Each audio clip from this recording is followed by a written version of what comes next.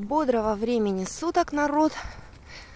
Утро выдалось сегодня. У меня утро солнечное. Сейчас 3 градуса, обещают к обеду 7, а может быть и 11. От вчерашнего дождя не осталось и следа.